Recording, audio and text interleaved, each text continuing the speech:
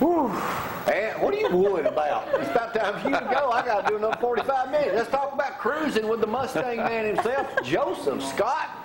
Joseph, you tell me Mr. Fred Lackey married you and your lovely bride? He sure did. 1995. Uh, married us in the old sanctuary there. The old sanctuary. Old Yes. sanctuary.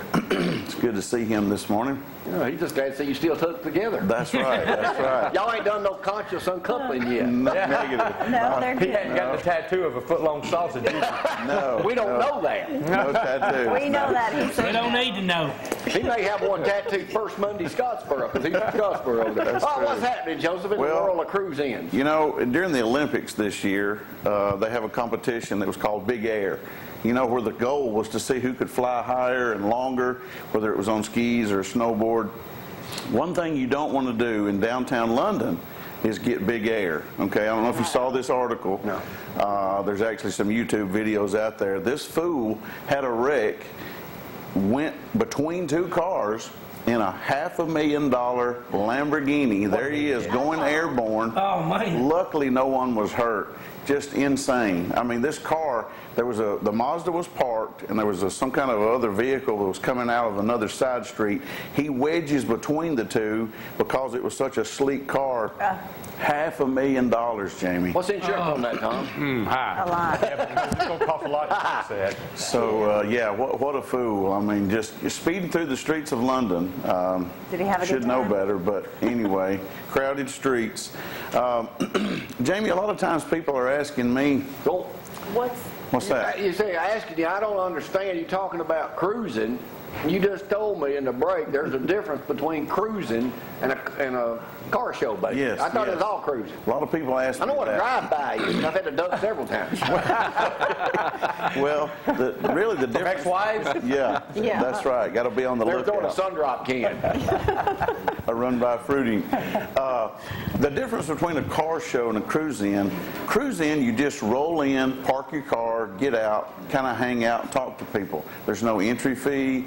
There's no signing up or registering. It's just the old Friday night hangout that you. We used could to add do. that to our church Okay. service here during the day. That's Have a right. cruise in out Cruise front, in. chicken fighting in here, And I can, church. I can cruise in in my Prius. Love it. No, Raise the no, hood. you ain't cruising in in that Prius nowhere. What else, Joseph? But but car shows, you register, you pay a, a, a car you know fee. Not for uh, it's a lot of times it's for charity.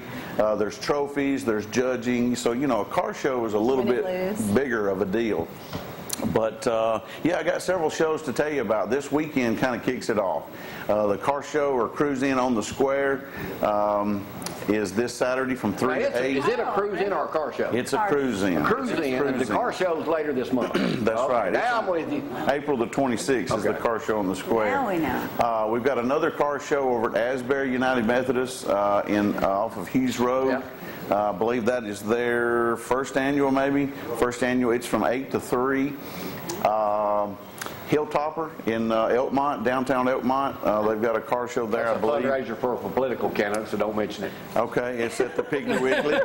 Uh, Then also, the fourth annual Rogers High School Car Show is in Green Hill. I believe that's Yeah. north of uh, Killen. Yeah. I believe it is. So, uh, so three car shows this weekend and one cruise in. So uh, definitely, if you're in town this weekend, come by the square from three to eight, hang out, eat dinner, and just have a good time. I have a question for you. Okay? You a man knows about speed. A little bit. What is the world record for the lawnmower? He just said it.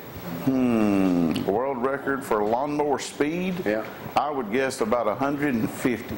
Well, you'd be wrong. You would be over the, the, the world record was 90 something. Now it's 116 miles an hour. Holy Now, I crap. borrowed this to cut my grass with every other, Why? every other yard in my neighborhood. Who would? Wow. Who would get a lawnmower that goes that fast? But I don't think it's, I mean, them blades really got to be churn- cranking it out. You know? No, they don't use it for mowing. well, uh, you don't know that, Donnie.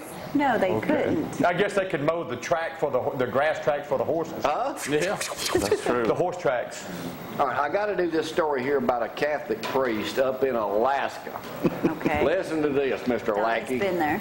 Holy smokes, police arrest Catholic priest, 52, drunk driving, spotted him weaving across road, find pistol in his back pocket and a bag of pot.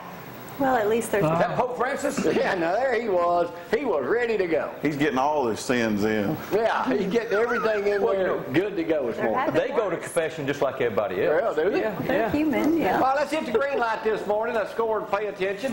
Uh, I see Mike Davis and Frank Scrimcher carrying on quite the conversation in here Yeah, this they're talking about fishing. So let's go over to Zach right now, find out. Zach, who's ailing and who's dying in the Limestone County? Well, let's Oh. first remember Brittany, Progresso.com. Let's vote for her.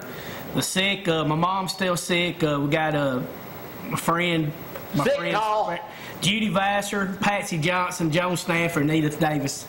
Ladies either I go to church with or my buddy's uh, friends. So anybody wants me to mention anybody sick or ailing, bamazak at gmail.com, and I will mention you. Throw some words of wisdom on me, Zach. All righty. The most wonderful places to be in the world are in someone's thoughts, someone's prayers, and in someone's heart.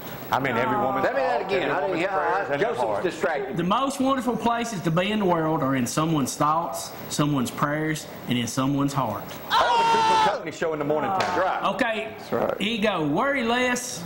Did I did? No, I didn't. Ego. Worry less. Smile more. Accept criticism. Take Oh, you did this one because I can't accept I did that one yesterday. Okay, well, here, here's another one. Here's, Now another, I'm here's a Bible criticize you verse. for We got forgetting Brother what you Lackey in here. Let me do Bible verse. Psalm 113, 2. Blessed be the name of the Lord from this time forth and forevermore. Amen. All right, Zach, where were you 40 years ago when the tornadoes hit today? I was at my grandparents' house in Elkmont. They had just moved to their new house, and it was an old two-story house, and we were scared to death. We had uh, mattresses everywhere. Uh, my uh, uncle's house in Decatur was totally destroyed. I remember we were going to Decatur to check on them. Went through Tanner, around Lawson's trailer court. Could not believe what all happened. It's amazing. Every time there's a tornado using Lawson's trailer court, that area is always hit in that area. But but it, it was devastating. I was four, uh, four, uh, 11 at the time, so it was just complete devastation. I'll never forget that as long as So I you live. 51 now? 51. So I, four, I was 11 years old when that. Well, I was 10.